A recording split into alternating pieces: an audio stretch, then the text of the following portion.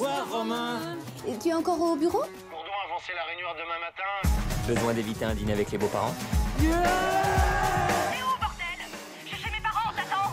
Cacher une infidélité? Ou encore préserver votre jardin secret? T'es là, bébé? Ouais, je suis là. Détendez-vous, on s'occupe de tout. Notre société cartonne, j'ai rencontré l'amour. En bref, tout allait bien dans ma vie. Je viens vous voir pour un ami marié. Et il vient de rencontrer une jeune femme avec qui il voudrait peut-être partir en week-end. Comment s'appelle votre ami?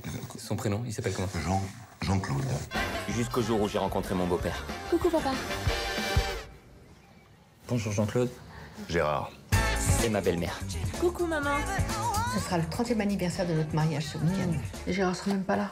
Ah bon? Blou-blou.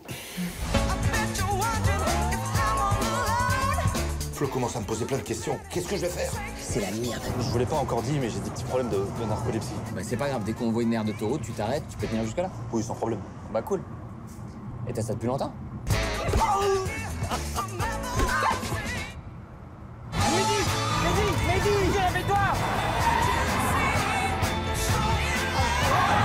Faites pas genre le coup de la panne et tout. Mais là la voiture est vraiment en panne. Eh, c'est ça. Et mes seins, c'est des vrais. Pardon Mais c'est quoi ce bordel? On est d'accord qu'on arrête la mission On n'arrête rien du tout, vous voulez dire? Je vais casser le carreau. Je voudrais pas te blesser. Ça va?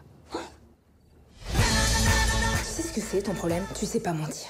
Je vais te dire toute la vérité. Ah, c'est faux Bah qu'est-ce qu'il prend? Il a encore rien dit.